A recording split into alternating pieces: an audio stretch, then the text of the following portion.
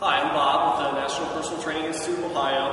Uh, we're going to do another exercise demonstration here today, but remember, first, make sure you're cleared by your physician to exercise. All right, we're going to get into a little bit more complicated exercise today. We're going to do a body weight squat. Uh, we're not going to do variations, but I'm going to show you some things that you should do and some things that you shouldn't do. Okay, so the first thing I'm going to do is I'm going to demonstrate a couple. Okay?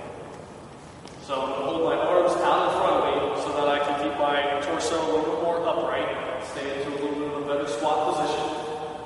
Okay? Now, some of the things to keep in mind.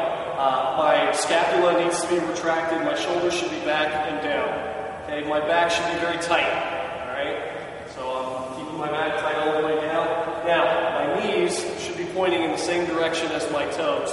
Alright, if you were to watch this from the front, you wouldn't want to see anything that looked like this. You wouldn't want to see anything that looked like that. Okay? Now, from the side, when trying to decide a good squat form, you should look at the torso and you should look at the shins. Okay, when I squat down, the angle of my torso should be roughly the same as the angle of my shins.